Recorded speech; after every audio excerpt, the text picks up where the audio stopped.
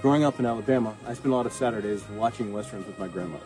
At first, it was something I really didn't want to do, but as we were poor, we only had one TV, and it became a bonding experience between the two of us. And even as I watched it and I got closer to her, I would still never see anyone that looked like me, unless they were the villain or the butt of the joke, and that always bothered me. A few years later, I actually discovered that Bass Reeves was the inspiration for the Lone Ranger, and I was blown away. And discovering that fact made me want to learn more about the West.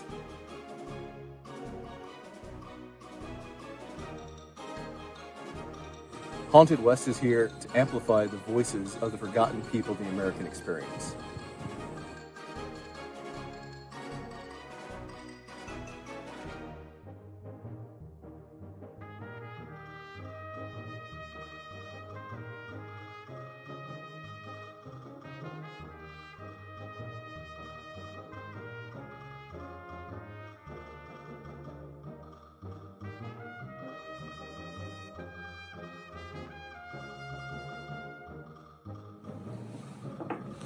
Are you in?